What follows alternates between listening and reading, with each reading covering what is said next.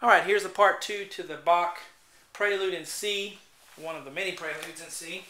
Um, and we did the first line. I'm, I'm doing a part two because I didn't want to try to squeeze everything in. So uh, we learned the bottom line. Now we're going to do this. Um, let's do, let's see. There actually should be a, uh, you put a B right here. Because there's a single B before you do that pattern. So B, and then we're going to go. So what we're doing, playing a B first. I'll show you the left hand in a minute, so hang on. B, and let's do the pattern.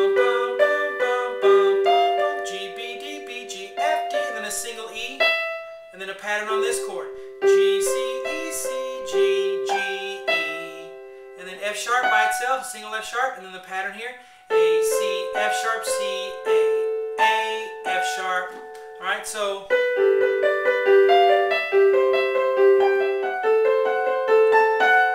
that's it. Now, where does the left hand fit in? All right, you have G here on the thumb and then G on the pinky. And actually, you have a mordent, which is going to mean. Well, we'll do that da, da, da, in a minute. Let me just show you the first how to do the G's, and then we'll add that little ornament in. All right. You're going to play, when you play the first B, you're going to do the high G on the left hand. Okay, so you go, or just, let's just do G, okay? It's every two notes is what it is. So, one, two, one, two,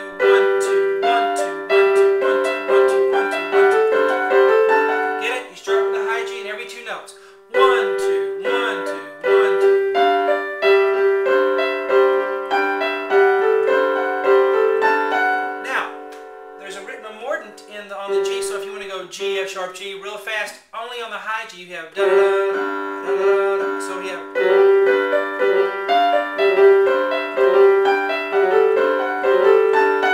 Okay, now, continuing on.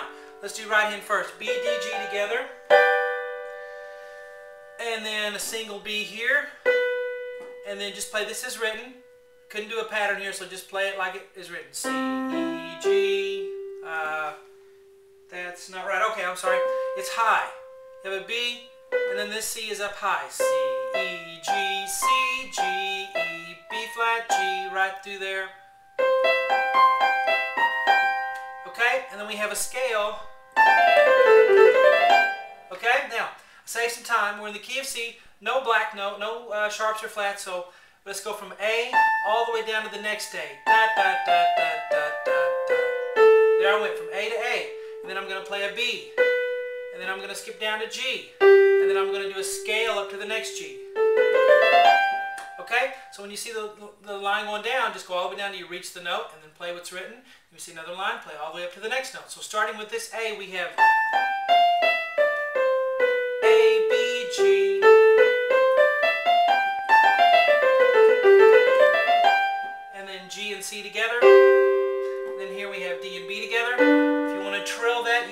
the penultimate chord, or uh, yeah, that.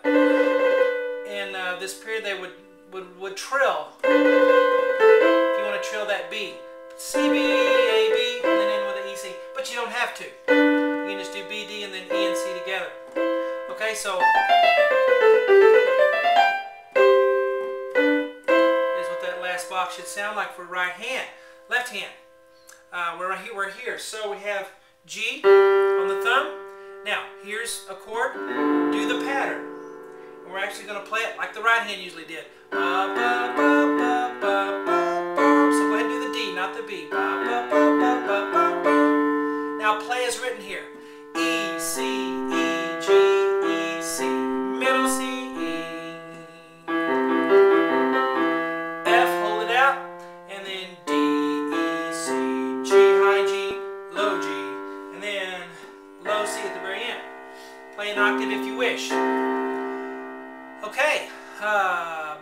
Hands together here. G, and then left hand. Da, da, da. Play that B with the top note, with the thumb on the left hand. B. Okay? Now here, this is the toughest part. I was a little kid when I first learned this, and this is still a little bit confusing for me. It still gets me once in a while.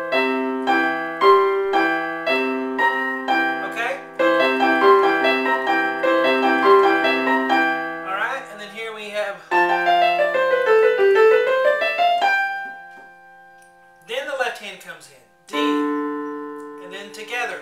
Then just left. Then just left. and then together here. And then together.